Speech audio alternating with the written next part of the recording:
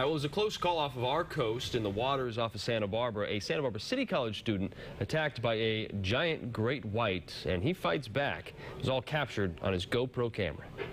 Spear gun in hand, happy as a clam, then hit from behind.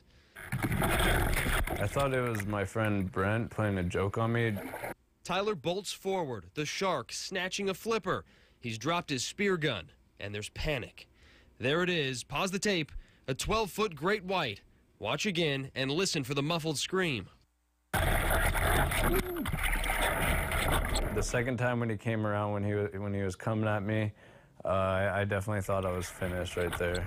And the shark isn't done with Tyler. Watch brave, insane Tyler poke the shark with his spear gun. In a life or death situation, you have to keep your cool.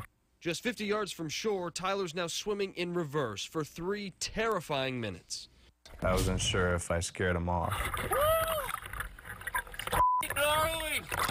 Couldn't have said it better myself. That 22 year old swimmer posted a photo on social media as well, showing a bite mark across his two toes. He said the experience was terrifying, but when he heals, plans to get right back in the ocean. Can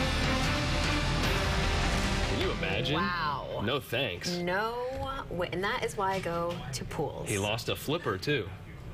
At least it wasn't a toe. At least it wasn't, or a foot. Could oh my gosh. Yeah. Scary stuff. All right, let's turn things.